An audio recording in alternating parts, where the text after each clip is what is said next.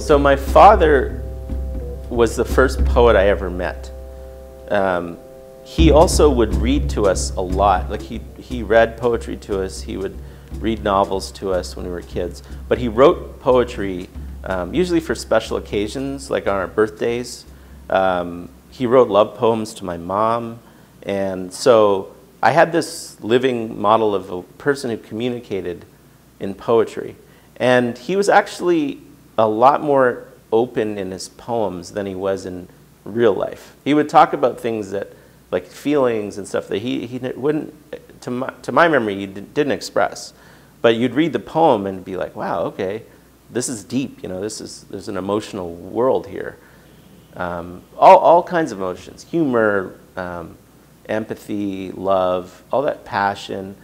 And especially when I saw my father doing that, it was, it was, and I'm saying this in hindsight, but I think it must have had an impact on me.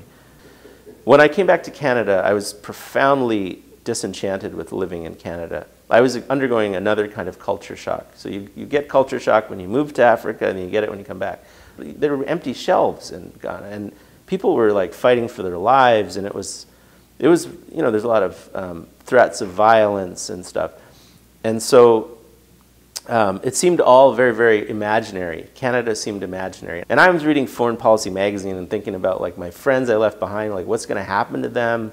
Um, some of them were, you know, like at starvation poverty levels. It was pretty, pretty bad. And that kind of contrast between the two worlds, I wanted to live in the other world. And poetry allowed me to still uh, communicate to people in a way that was, in a way probably like my dad, where I didn't, I wouldn't say these things, but I would, I would um, write them down. And writing provided a kind of stability, a way to fix myself and fix my thoughts in time, which is really in lyric poetry, that's one of the main functions of the lyric. You see so many lyric poems, famous ones from centuries ago, where it's like, don't die. As long as I keep writing this, you, you are not dead. You know, it's this way of keeping someone alive in text and in the, in the mind. And that, that was really attractive to me.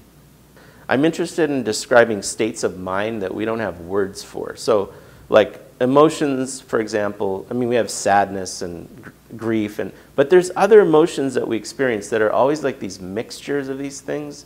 And there's no words in English, at least, for them. So I want the audience to come on the ride for me and take out of it what they will. Some people are going to be like, this poem is crap. Some people are like, I don't understand it. Some people will write to me like, I, I love this. It, it's, it's, you know, I really understand what you're, you're coming from, and they'll come up with an interpretation. like, I don't, I didn't mean that exactly, but it's cool.